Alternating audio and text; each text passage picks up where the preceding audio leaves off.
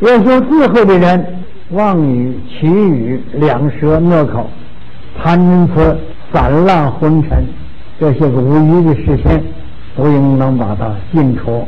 要到到佛堂里，到精舍里头，见了佛像，见了庄严、真相具足的无量的化佛，四地而坐，给予向前，头面礼足。这个是不一定说是你身体到那里，你就做幻想发普贤愿回向礼。那么在这个世界，我们根本就想求极乐世界，到那去见阿弥陀佛，还没到那去呢，你怎么能去礼一阿弥陀佛呢？但是我们现前就坐着的西方三圣像，你可以礼的了。同时，你用你的意念思想，我已经到了极乐世界了，我已经在莲花当中。你常常的做这些个梦想，这个梦就会变真实的了，梦就会变真实。然后有时候这是梦，不错，是梦，梦是幻化的，不实的，但是梦是显现的。因为我们这个愿力跟这个自愿力，就是实现我们这个梦。本来我们这个人生入梦了。《金刚经》也告诉我们：一切有为法，入梦幻泡影，入露有见，应作入世观。但是当我们梦梦醒的时候，我们把一切梦当真实的，那当真实的，我们要做好梦吗？为什么做那个噩梦呢？破戒了，那就做种种恼害众生事情了，这本来也是谎话的。你这个谎话的不如那个谎话的好，那个是顺法性的，这个是背法性的，应当的这样子。一心常时细念，常时细念呐，佛就在我面前坐，就坐在我面前。为什么我们观想啊？礼拜时候，你修哪一法，就观想哪个本尊。或者你修地藏法，你地藏佛在你头顶上常时住着，你得观想昼夜二十四小时。临睡觉前，你观想地藏佛就在你头里，抚慰你，安慰你，让你好好的睡眠。一醒了。你马上就观想，我看我们禅云法师把我们这个所到的处所都是写上净恒品的净恒品的句子，什么意思呢？就是念念不思念，念念入法界。不能到那洗手间呐，你们在行啊，到各地方，我看到都到处都有那个净恒品的句子，就是这个含义。说你心中啊，念念的祝福常现在前，这个三昧就是这个意思。提了哲诺的。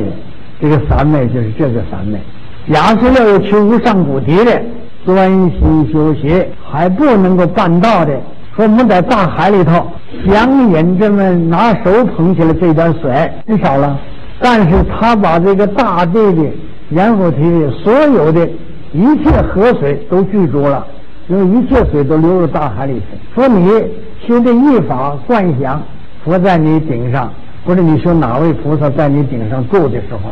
不是日夜日夜灌上他在加持你，你就记住一切佛法，记住十方三世一切诸佛，就是这个含义。以这么一个例子来做比喻，就说你已经修得了毗卢遮那佛的这个不可思议的三昧，但是呢，应当勤时修习，无有懈怠，气念一心，要令啊自己呀现前见佛。那么这是普贤菩萨所说的法要，那么还有几部经。那么时间呢没有这么多，我们就不再引了。我现在以下呀，这个法要的呀，我就不多讲了，因为他那个各个经论呐，都是普贤菩萨这个重重无尽的意思。因为大家的法界观没有长修，我介绍大家应当常看一些个什么。如果是想修普贤横的四法界，你必须得知道。那四法界呢，理法界就是空理，一切真空的性体；四法界。一切世间相是四间法，所以四间法是以理法界难立建设的，理法界是成就四间法。那么随举一法，体具全理，这是我们众生心，就是性体这理法界。不是说我们这个妄心啊，说的我们那个真心，我们本来具足的。又把这个理来成这个色，色能显理，理能成色，那么的。理不但不耐色而能成色，色不但不能防理而能显理，这就叫做理色无奈。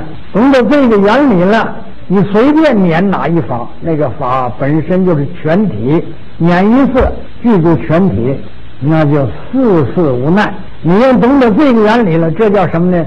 叫随顺引，引可这个法是对的，心里入可承认，随时这样观念，这个心量渐渐就观念成功的，成功了，随顺人成就了，你渐渐的超越三仙入初地。那么学这个四法界观哈，哎，学这个四法界，这叫四法界。还有三观：真空觉相观、理四无奈观、周遍含容观。周遍含容观就是四四无奈法界，理四无奈观。就是无理四无奈，理法界跟四法界理四无奈。要看看这种单心本，还有贤首果司的柱子金狮子章，还就有个华严三昧章，这些个多看一看。六相十玄呢，看一看你就入法界了。常识心里头是这样子，学华严你能把你心境扩大呀？咱们经常说心包太虚，量周杀界。如果你有这种境界，这一些的世间相。你都是通得过的，你这世间这整个的这个娑婆世界都给你列看不起了。那个时候你看的是法界了，同时你看的连极乐世界，连东方的药师琉璃光如来世界，都是名词不同，都是我们华藏世界，种种光明蕊相从，第十三重世界海里头第十三种华藏世界。像这个现在我们所知道这些个世界，都在华藏世界里头呢。我们仅讲一个十三层，种种是光明瑞相双是二十层世界了。这仅是一个窗，还有无穷无尽的这个光层。不过现在我们说多了嘛，好像出冤亲债主，强冤冤家，强冤家现在没落到那个鬼王了、魔王了，这是强冤家。冤冤家呢，过去六亲眷属，因为我们都是有情感的了，没有变成字的时候都是情了。他们想破坏你的道业，我们普贤菩萨就叫我们修观。这个观呢，普贤菩萨有个观行法经，观普贤菩萨的行法经，他那里头就告诉我们了：如果是有这些个冤家、想眼人家现前的时候，普贤菩萨保护我们。但是你必须自心归依，你在修要成功的时候，你能够圆正真如，不被魔咬。《妙法莲华经》。第二十八品，普贤菩萨的劝发品。普贤菩萨以他的自在的神通的威德，与与他相同的维护他的无量无边不可思议的那些大菩萨，他从那个宝威世界的东方来到这个娑婆世界，来辅助释迦牟尼佛说法华经。他到了这个七舍库的山里头，礼佛又要七杂，白佛言：“世尊呐。”我以保威德善王佛国，这个时候，普贤菩萨是在保卫这个德善王的佛所里头，就听到这个娑婆世界释迦牟尼佛在这说法华经。他说：“我呀，率领着无量无边百千万亿诸菩萨众来这来听法来了，共来听受。唯愿世尊呢，给我们说，要善男子善女人。”如果是在如来灭后，云何能得是法华经？那时候开始悟入佛之之见呢，首先能得见到法华经，云何能得见到法华经？佛就告诉普贤菩萨说了：如果善男子善女人成就 四法，与如来灭后，当得是法和经。哪四法呢？一者得得到诸佛的护念，二者得知众得本。三者入正经句，四者发救一切众生之心，四种都很不容易。我们前三种不说了，我们就说是我们大家发了这种菩提心没有？我要救护一切众生。如果这个救护一切众生的心没有了，其他的什么都建立不起来了。因为我们要成佛，就要利益众生。所以佛跟这个普贤菩萨说了：说善男子善女人，若是成就四法，你如来灭后必得四境。成就这个四法，一定得到法华经，或者是你读诵了，或者照着修学了。现在大家得法华经不困难。如果是佛没打妄语，那么现在大家过去了都记住四法了，讲了七十多个小时，不到八十个小时，就光讲个题，那是给学生上课，是我那个法界学员呢，学华严经的专门的专修的这样上。我像这种这个跟大家解说的方式呢，是为了修，不是为了学。我这个就不叫佛学，叫学佛。嗯，佛学跟这个学佛不一样。佛学是作为学术上的探讨，义理的深究。你学佛呢，就是佛怎么做的，我们要怎么做。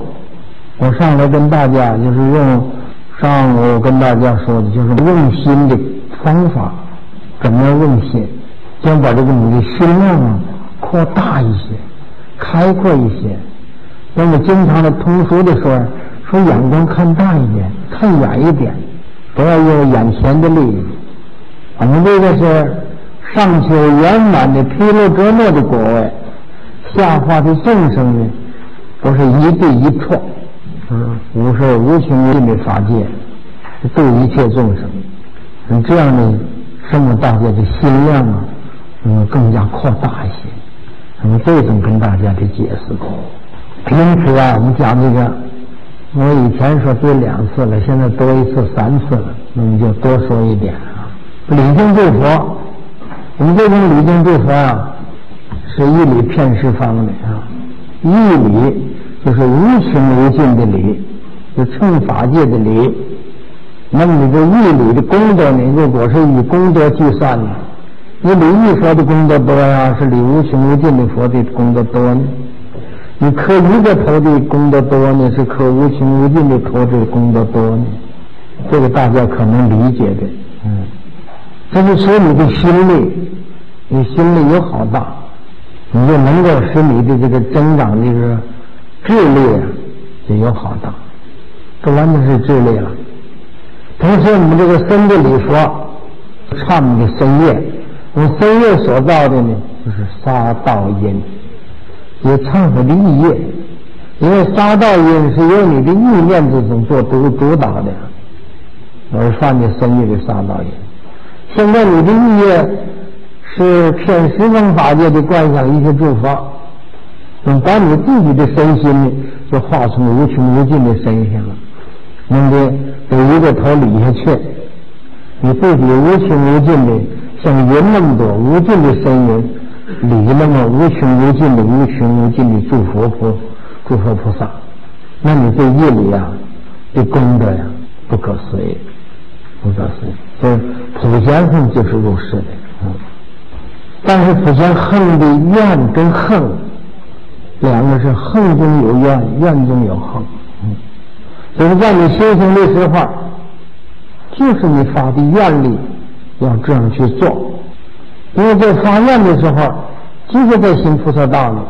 发愿的本身就是行菩萨道，你愿就是行，行就是愿。普贤的恨愿呢是不分的。你在修行的时候，就是求佛果，就是利益众生。这个注重的心修啊，注重的心修。我们经常讲啊，修心呢，修心，这就是修心的法门，这也是最圆满的。在这个密宗讲的金刚上斗，普贤不是金刚上斗。那你一个百字明的咒，是观想，都是伴着观想光明，观想智慧。因为有了智慧了，一切称霸。你普贤奉愿的都是那个方便三条字，文殊菩萨的愿是根本字。那华严经表示根本的方便三条，不方便字是无穷无尽的、无奈的。但是根本字必须得有方便字。才显示根本字，方便字必须有根本字，才能够产生那方便智慧。这《华严经》啊，讲这个十种啊，十种的波罗蜜，不是六波罗蜜。就把四波罗蜜开出来，慧、方、愿、力、智，这都是从那个最后的智力而开出来的。慧本身就是照的意思。造的觉察的意思，它产生的力量，方就是方便，愿就是愿力。那么呢，这个普贤奉愿呢，就能这样的理解，礼佛你能这样理理敬礼。所以，但是如果是有病的话，应该是头体五体投地礼，就恭敬是五体投地，两个膝盖，两个肘。加上头部，这叫五体投地。但西藏里呢，它就磕大头啊，通身的礼，通身的礼。跟汉地所行的就五体投地礼啊，就是讲前边呢不是哪曼礼了，如果身体有病不能做礼，也可以灌香礼，灌香礼，也是坐着礼，也是把垫子垫很高的礼，但是除了老和病，其他没有方便的啊。你是诚心的，不是是礼佛偷懒的。那这个你可以咱也是方便。有病不能做礼，就做着观想吧。有六十面，南无阿弥陀佛，观想我知道这磕头，一样的，一样的。上午我们讲的一文解义三佛愿，离经几咒几头么说，嗯，大家的答案有没有？想过没有？一文解义就光学去了。解到哪里去都不一定了。那离开文字了，那你就胡乱说了，两个都不可以。他在文字之中教你关照，因为关照能达到实相，是这样的。不要一个文字，而要一个关照。那没有文字，你又怎么能起到关照呢？文字也离不开，不急不离，离文字不可以，急文字也不可以。那么要怎样才可以？要实相才可以，从文字而起关照，从关照达到实相，这就是文字不扰，关照不扰，实相不扰。这样的来礼佛，这样的来称赞佛。其实称赞佛呀，不是犯罪啊。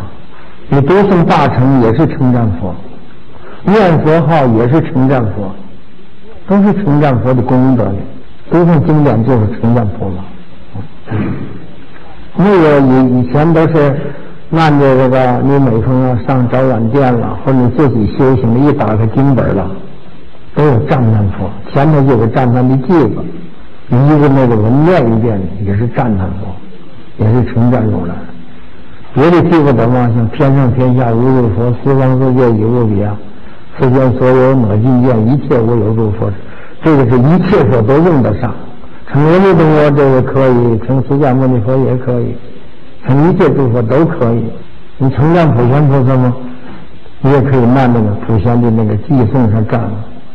摩斯普贤说是和无边圣母皆是，这都是称赞普贤菩萨的。这样的呢，就是称赞，就是称赞的意思，也是称赞佛的功德。但是呢，站在一切众生。那个《法华经》的唐无清菩萨，叫一切众生都磕头。他说他是未来的佛，这是占因佛。我们礼拜释迦牟尼佛、阿弥陀佛，这是占果佛，就一定成就了。你对一切众生都承赞他们的功德，那么这个承赞呢，就承赞的因佛或者承赞果佛不同。因佛我们都是佛，具足这个因，那现在你呢？就使这个因呢增长，增长这个因的力量，那么你就速达到果佛，速取佛果的果位。那么这个呢，称赞的赞叹的方式不同，不同。我去称赞上呢，上我讲的了大方广，人人都住在大方广，赞叹大方广，赞叹每一个众生都可以赞叹因这个我们造的口业。成赞就把你的造的磨口业就铲除掉了。而有的今生和现实生活中，从来不会骂人的，不会摸口。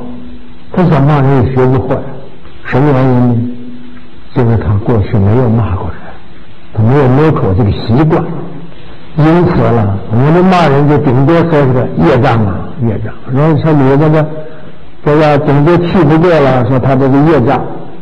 是了，他是业障，咱自己也是业障，被业所障，我们这是个障碍。